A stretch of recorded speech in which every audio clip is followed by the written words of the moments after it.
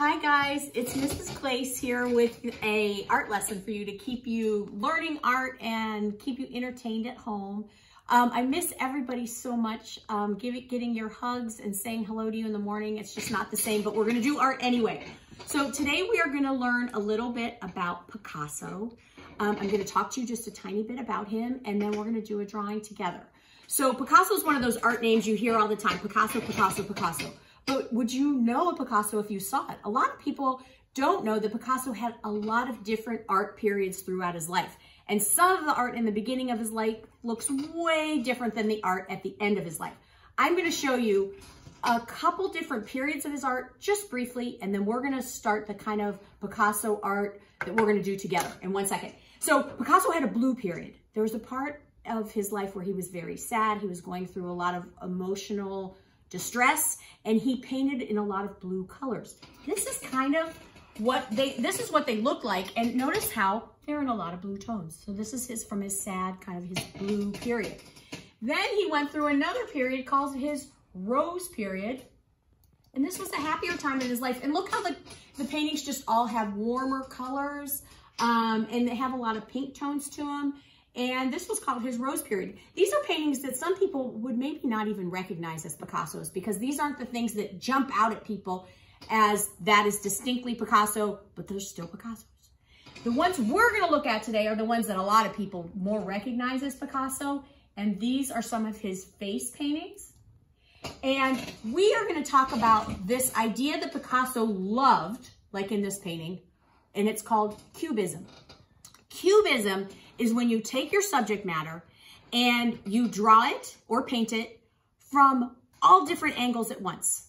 What I mean by that is usually when we draw, say you were gonna draw my face, you would draw, if you would either like draw it from the front, or maybe I would turn from the side, you would draw from the side, but you would pick an angle and you would draw it that way. Or if you were drawing a teddy bear or a dog, you would draw it from one angle. Picasso thought, why do we have to just draw from one angle? I know. We'll mix all the angles together. I'll do the front angle, I'll do the side angle, I'll do all the angles at once and I'll put it in one picture and it will just blow everyone's minds, which it kind of did. Some people loved it. Some people said, that Picasso, he's a little crazy, but it really changed the way a lot of people thought about art and the way they thought about making portraits. So we're gonna try to draw a portrait like that today where we show two, maybe three different views at one time in a face. And you're gonna draw along with me. Okay, so here is the kind of Picasso portrait we're gonna draw today. Now, it doesn't have to be you. It could be anybody. It could be any face of any human. So you could be thinking that you're drawing yourself, or you could be thinking you're drawing someone in your family, or just somebody from your imagination. But notice how this person, we see a front view. Look, she's looking right at you.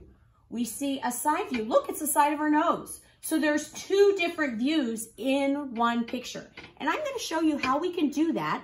You're gonna draw along with me, but you can change it up a little. You can add your own pizzazz to it and do your own things to it as we go, but you're gonna end up with a picture that has two different views in one. Then you can color and go off and do that on your own because that'll be your thing to do at home. So here we go. To get started, the first thing you're gonna need is a piece of just white paper, any kind of paper you can find at home. Whatever you can come up with is great, printer paper. And we're gonna start, since we're just drawing a face, we want the face to fill up the paper. No teeny tiny heads, big, big faces. So the first thing we're gonna draw is we're gonna make a big U. A big letter U on our paper. So this is going to help us get started. Now, don't worry if it's a little wacky or wonky. Guess what? Picasso likes wacky and wonky, so that's fine. That's that, that's great. Okay, so after you add your U, we're going to add a little bit of a neck coming down from our U. And then maybe just add some kind of neckline. I think I'll make it a little pointed. Why not? And I'm going to throw in some shoulders. Now, if I'm going too fast for you guys or you want to stop and you're like, oh man, I got to erase that, just pause on your computer or your phone or whatever you're watching this on and then just come back. It's fine. Um, so after we do this, we need to break it up into our two different views, the profile and the straight on. So a great way to do that is with the nose because the nose kind of tells us which way we're looking, right? So we're going to come down the middle of the face and I'm to come down and I'm to add a nose. Oh, sideways kind of nose, right? And come down and I'm to stop. So everybody do that. Add a sideways nose and it's like a profile nose. It could be a big nose, little nose. I don't care. Just some kind of nose adding to the side. Now, if we're doing a mouth from the side, we would just see like the lips from the side, right guys? So add the kind of lips that you want. They could be big lips. They could just be thin lips like a line. You could do them like they're talking. You could do them like they're closed. I think I'm going to add a little bit of a lower lip here, making it different than my other one. And I added a little mouth. So see, it's a sideways mouth. It's not like a front big smile. It's a sideways mouth. And now, what do we need on the side? We need a little chin. So we're going to add a line coming down to give it a little chin action there. So now this side looks sideways, right? It doesn't look forward. All right, um, eyes. We need an eye on this one that is gonna go with our sideways or profile kind of eye. So what you can do to draw that, guys, is do a letter V. Look, I'm doing like a V. Okay, so that's gonna help my eye be more like a sideways kind of eye something like a V. Doesn't have to be just like mine, but this is gonna make an eye look more like it's from the side because then we're gonna add a gentle curving line to it to make it look like it's a view from the side. And then I'm gonna just put a little line down here. Okay, so that, that would probably be the colored part of your eye. The cool thing about Picasso is nothing is super, super realistic. So do your best on this. And if, if you're looking at it thinking, oh, I don't know, Mrs. Klace, this looks kind of crazy that's all right. That's okay. Keep going. And now I'm going to add a few eyelashes that are kind of looking forward. Okay. Now I know all you out there say, oh, I'm a boy. I'm not going to put eyelashes on it. It's up to you. But guess what? Everybody has eyelashes. so Flynn like that. Okay. Then we are going to do a front facing eye. This is when you do the old classic football shaped eye or a lemon shaped eye whatever you want to think about. And it doesn't have to exactly be the same size. Picasso loved when one eye was bigger than the other. That was kind of one of his things. So we're going to do a football shaped eye. I'm going to put a little U inside of it for the colored part of my eye. And then I might make another one in here for the pupil, but it's up to you. You make the eye that makes you happy. I'm going to put a little wrinkle back here for my eye, you know, where eye, for your eye where it opens and shuts. And then again, coming in with some eyelashes. Okay, my friends. Now, when it comes down to the mouth down here, this side of my face is the sideways mouth. So I'm going to go sideways with the mouth. You could do this whatever shape of mouth you want, but I just put some lips on there. Just coming off of my first mouth to make this one be forward.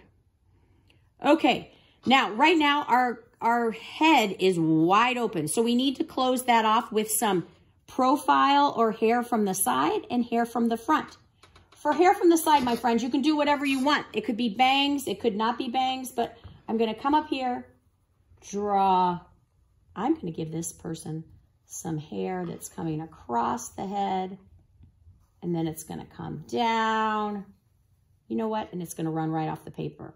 Now, I could have made that a little bit bigger. I don't know. I'm drawing with a Sharpie. I don't love the size of that, but whatever. It's fine. It's going to be good. And I'm going to put a little shape of an ear in here poking out from underneath the hair. On this side, I need hair that's going forward. So I'm just going to go up like this, come down. There's my hair. You guys, you can do short hair, long hair, poofy hair, straight hair, I don't care. So, and then again, need a little ear in here. So here's just my forward facing ear. So there's the ear from the side, forward facing ear.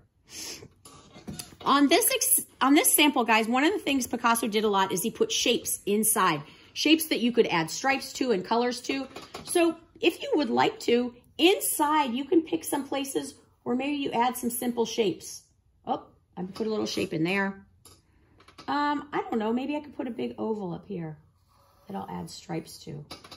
And maybe I'm gonna put the big shape of a curl coming down here just to add a little life for things that could be different colors in my picture.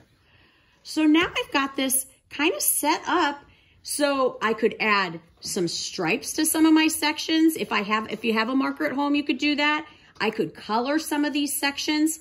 Um, and you could even add some details. I know you girls and guys are always asking me, can I put glasses on mine? Can I put an earring on mine? Can mine, you know, can mine wear a hat? Yeah, sure. But remember, you're doing half of its profile and half of its forward. So at this point, guys, you could go off, you could start coloring. You could add some stripes in some of your shapy sections you made and have fun with it, guys. Do a background too. Add color to the background.